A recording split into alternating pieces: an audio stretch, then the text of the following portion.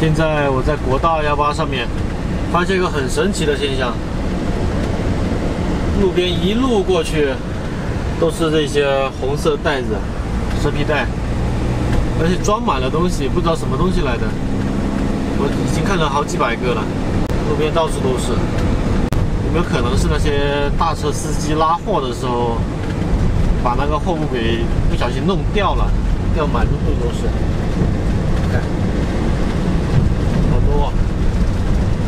在我小学以前呢，家里面人是不给那些零花钱的，所以我没钱，我就会去，呃，别人的屋檐后面去找一些瓶瓶盖盖呀，跟小伙伴一起，十几二十个小伙伴，看谁捡得多，就捡那瓶瓶罐罐的东西拿来卖。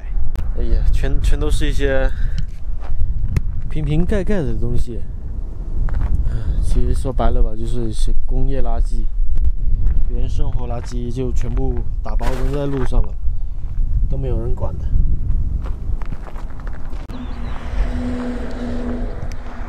这一片以前全部是沙漠，后来附近建了好几个水库，还做了一些这些水利设施。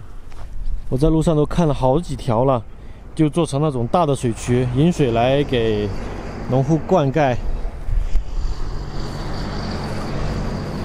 这个应该是没没有鱼在里面的，全都是垃圾。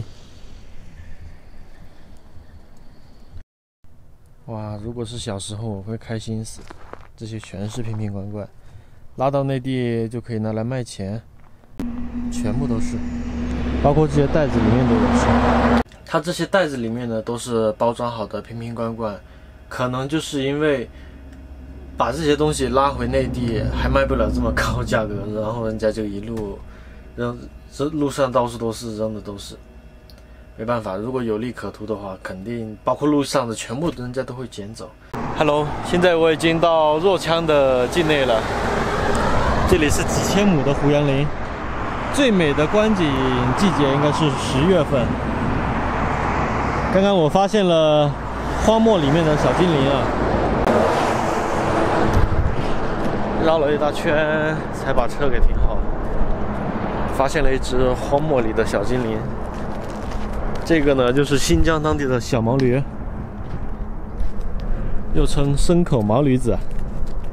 它的个体也就这么大一点了，它现在应该是小的，到了成年的话，稍微比这个要大一圈，但是也不会大到哪里去。之前有新疆的朋友呢，听说我骑过毛驴，他们就很奇怪嘛，因为毛驴都是个体很小的，跟马比起来的话，毛驴就是这么大一点，还挺可爱的，应该是野生的。我看了附近一大圈都没有住人的地方，像这些路的痕迹，应该是越野车压的。这么小就在这么荒凉的地方自食其力啊！挺不容易的。要不要跟叔叔回家？撤了撤了，这玩意儿搞回广东的话，没个三五年应该是出不来。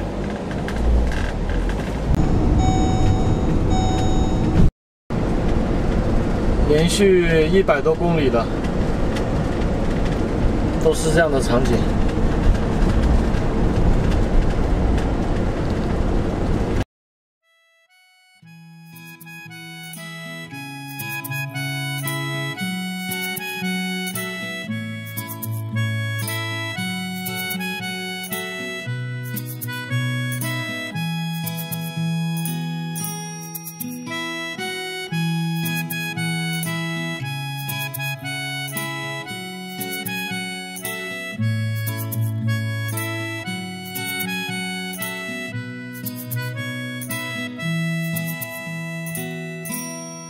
路旁的树又绿了，空气里透着栀子花的香。光明把月亮带走，头顶上小鸟歌唱。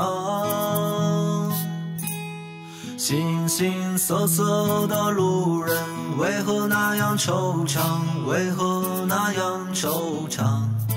这不可能，因为你，也不可能因为我。也许每个人的心中都有一份寂寞，都有一份寂寞。想我就看看蓝天，我在白云里躲着。忘掉吧那些曾经拥有，曾经的拥有不值得拥有。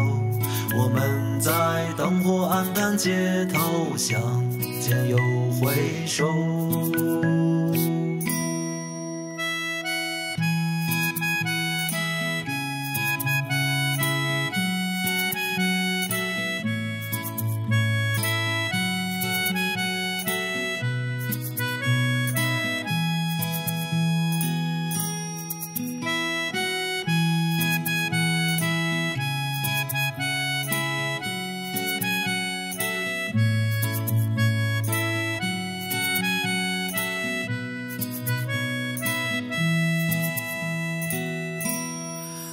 在离别的时候，你一定哭了。在我转身之后，列车带走了思念，我在你的梦里头。来吧，亲爱的朋友，让我们一起干了这杯友谊的酒。生活不可能告诉你我们错过了什么。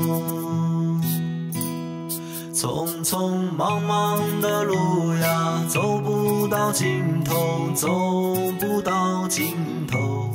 请你不要伤心难过，这样的人很多。如果明天不会来临，时间突然停止，时间突然停止，我就这样看着你，你就这样看着我。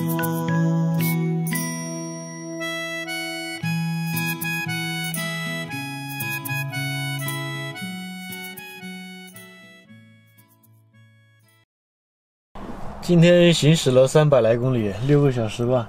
哇，没想到还是在巴音郭朗，可以想象这个州到底是有多大。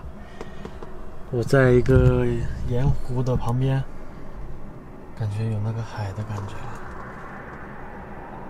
好美啊！特别是这个夕阳照下来的感觉，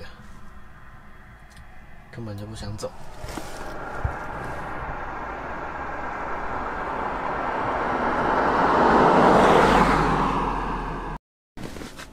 不知道是不是接近青海的原因啊，路上遇到的野生动物越来越多，像是什么鹿啊、黄羊啊、野驴啊，呃，偶尔就能看到几只。食肉的倒是没见到，基本上都是看到这些食吃素的，倒是也不怕死，就直接跑到人家门口那里去找东西吃。唱山歌哎哎哎！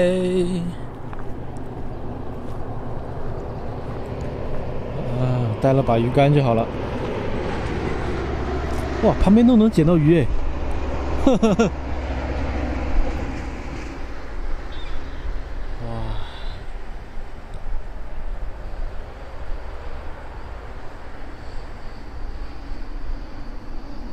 天色真是绝了。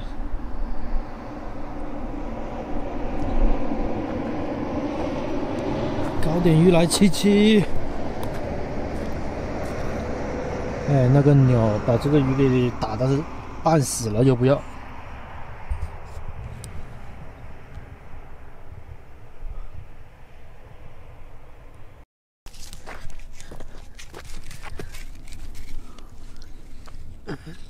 嗯，一锅汤，一锅汤过来。呵呵，一条鲫鱼一锅汤。哎，哎，你过来，你过来啊！走了。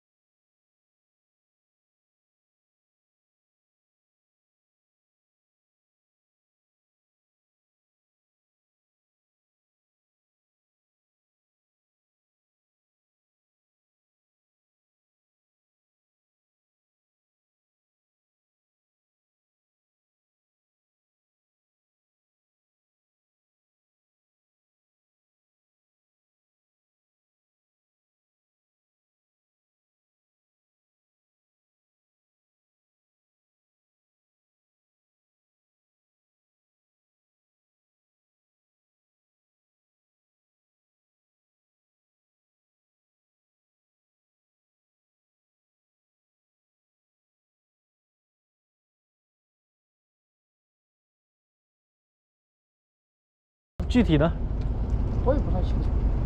是以上的底盘排量够不够？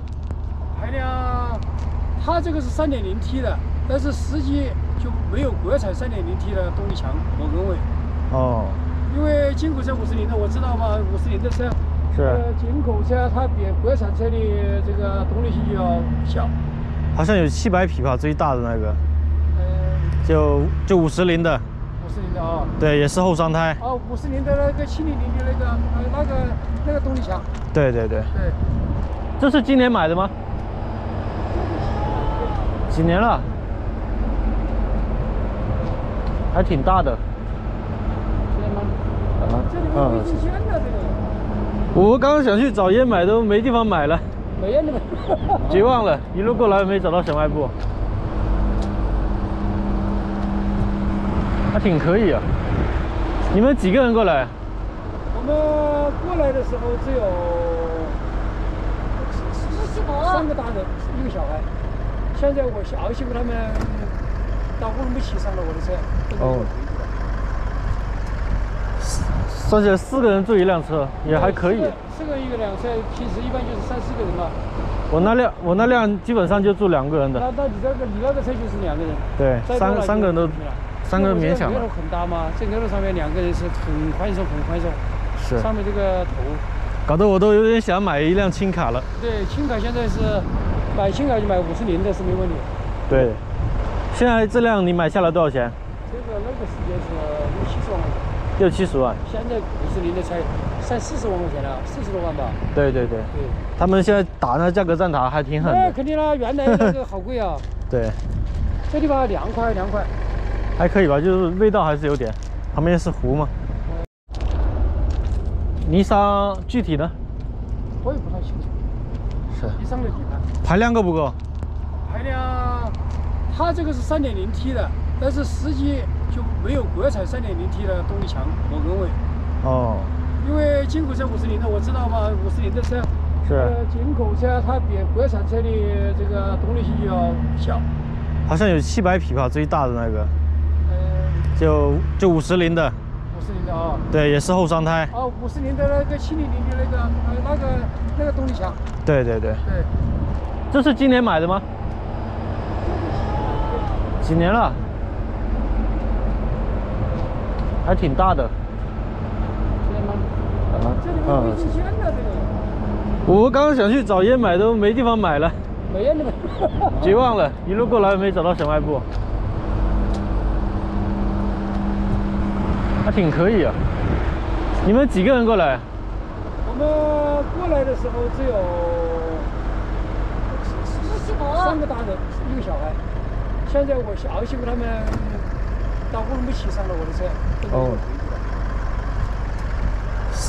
算起来四个人坐一辆车也还可以。四个四个一个辆车，平时一般就是三四个人嘛。我那辆我那辆基本上就住两个人的，那那你这个你那个车就是两个人，对，三三个人都三个勉强了因为我这个额头。很大嘛，这额头上面两个人是很宽松很宽松，是，上面这个头，搞得我都有点想买一辆轻卡了。对，轻卡现在是买轻卡就买五十铃的是没问题。对，现在这辆你买下来多少钱？这个那个时间是六七十万块钱，六七十万。现在五十铃的才三四十万块钱了，四十多万吧。对对对，对，他们现在打那价格战打还挺狠的。那肯定啦，原来那个好贵啊，对，这地方凉快凉快。还可以吧，就是味道还是有点。旁边是湖嘛。现在是晚上九点，我还没吃饭呢。刚刚问了一下他们吃饭没，呃，也说没有。然后贤妻这边嘛，因为刚开的一个算是休息区吧，厕所没有开通，然后就先跑路了，就剩下我一辆车在这里。我想着他们如果没做饭的话，我们一起做饭还挺好的。这段时间每天大鱼大肉有点消化不良了，这时候要搞一点比较清淡的东西。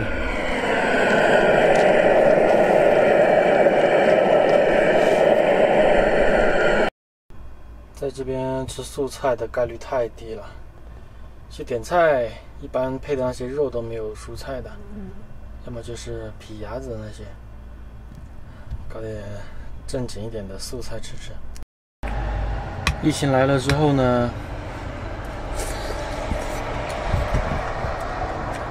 各方面路上查的就更加严了一点，可能返程的时候还会有一些其他麻烦，所以我觉得还是跑慢一点吧。最好就算好时间，大概多久之后回到河南，然后把车子交给房车厂那边去改一下。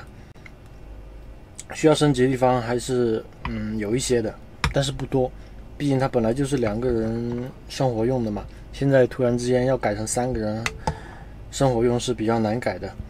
我看了一下他们的房车，还 还挺羡慕的，主要是各方面空间也够大。他们一家子四个人和或者还是六个人来着，应该最高峰的时候六个人吧，就住在一个房车里面。B 型房车可能空间比较有限吧，呃，它的那种空间感各方面大太多了，高度的话也到达三米几。他跟我说能不换就不换了，他自己那辆车开着也比较笨重，各方面的。吃点蔬菜，早点休息。这边呢，到格尔木大大小小有一百个各种各样的盐碱湖和淡水湖吧，可以慢慢去探索一下。好了，喜欢我们视频，请关注我们哦，拜拜。